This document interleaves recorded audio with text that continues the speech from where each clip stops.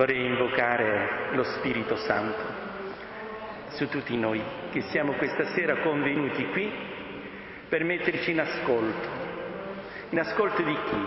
In ascolto dello Spirito Santo che parla a noi quest'oggi attraverso questa figura così singolare e svettante, come l'ha definita Nuccia Tolomeo, il vescovo, e per metterci in ascolto di quello che è il messaggio di Nuccia, che è un messaggio di speranza indubbiamente, un messaggio di amore, un messaggio che ci aiuta nel nostro cammino spirituale. A questo punto vorrei dire proprio un grazie, veramente un grazie grande dal mio cuore, ma anche a nome vostro, all'Arcivescovo, che è stato presente al primo convegno, al secondo convegno, a questo terzo convegno. Questo è un grande segno di attenzione, di rispetto, di fiducia, di benevolenza, di condiscendenza, ecco, da parte dell'Arcivescovo nei confronti di questo nostro piccolo sforzo che stiamo facendo di conoscere l'amore di Dio come si è manifestato in questa creatura Nuccia.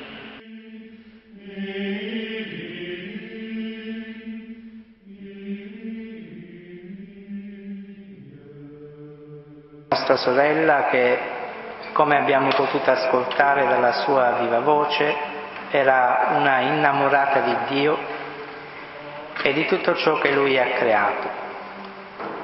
Di Nuccia ho sentito parlare quando frequentavo la quarta elementare, perché la mamma di uno dei miei compagni ne era parente.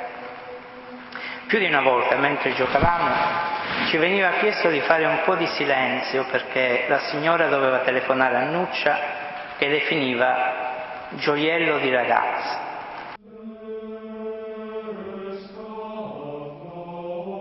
Io ho conosciuto la signora Nuccia nel 1992, qualche mese dopo che avevo preso possesso della parrocchia di San Giuseppe.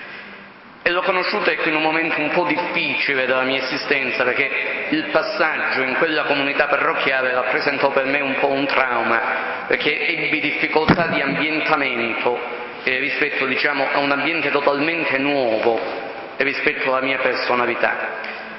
E allora ecco, io confidai in qualche modo ecco, alla signora Nuccia anche queste mie difficoltà. Lei mi vide che, turba, che ero un poco turbato e mi disse una parola grande, una cosa veramente che mi è rimasta nel cuore e poi mi ha aiutato e mi ha consentito di riprendermi. E disse dedicati alla preghiera, metti al centro della tua esperienza di sacerdote la vita di preghiera.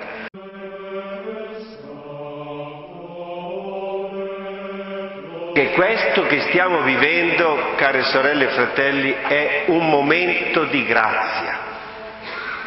Io mi sento indegno ad essere qui a testimoniare un dono prezioso che Dio ha fatto a questo peccatore che vi sta parlando.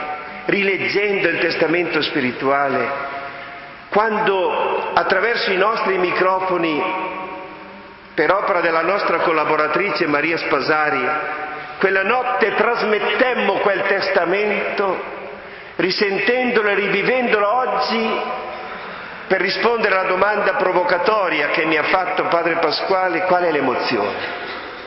L'emozione è quella di essermi trovato, io piccolissimo, in una realtà più grande di me, che non ho valutato nel suo valore, nel momento contingente, in quei circa tre anni che ho condiviso con lei, di notte a notte fonda. Lei disse, Federico, la nostra trasmissione chiamiamola Beati gli ultimi. Ecco l'emozione, Padre Pasquale. Beati gli ultimi,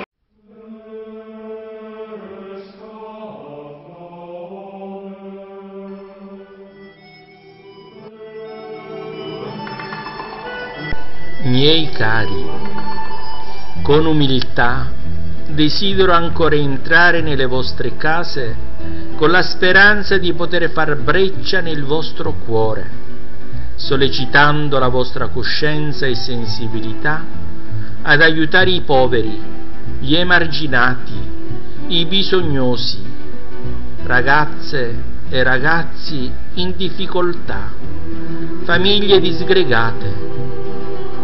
Ricordiamoci che c'è più gioia nel dare che nel ricevere e questo deve spingerci a prodigarci quotidianamente e con gioia in numerose e piccole azioni di amore verso coloro che hanno ricevuto dalla vita assai meno di noi.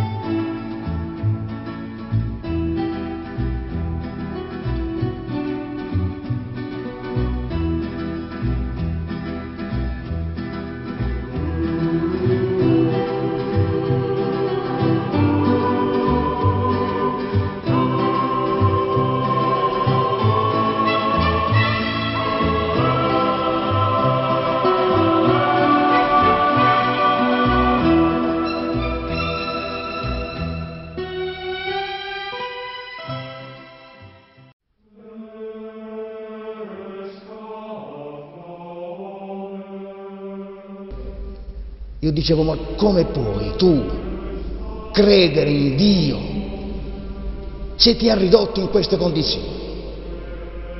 Come puoi tu credere alla sua generosità se sta dilaniando le tue ossa giorno per giorno? E lei con quel suo sorriso che disarmava chiunque diceva, ma io sono felice, è la sua volontà, è la sua volontà, io sono la sua preferita. E non capivo, ma come fai, dico, a sorridere? È perché lui è dentro di me. Io tutti i giorni dalla finestra vedo un pezzo di, di, di bosco, un pezzo di, di collina, ci sono degli alberi, ci sono alberi dritti, ci sono alberi storti, ma fanno parte della natura e ognuno dà, dà qualcosa, dà i suoi frutti. Io sono un albero storto e anch'io do i miei frutti.